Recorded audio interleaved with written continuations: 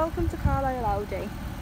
Today I'm going to be showing you around this Audi approved A7 Sportback Black Edition. This car comes with Audi Matrix LED headlights and it's finished in Florett silver. As you can see there we have the S-Line badging. We also have privacy glass and as we move around to the back of the vehicle this car also comes with Audi Parking System Plus and this A7 is a 3 litre TDI Quattro.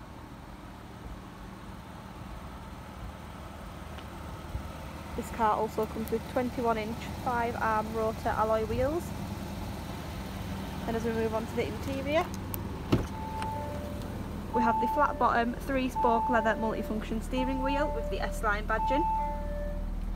We have the MMI navigation system Deluxe 4 zone automatic climate control with heated front seats. There we have the S-Tronic gearbox. Front sport seats with the S-Line embossed logo. And also the Bose surround sound system.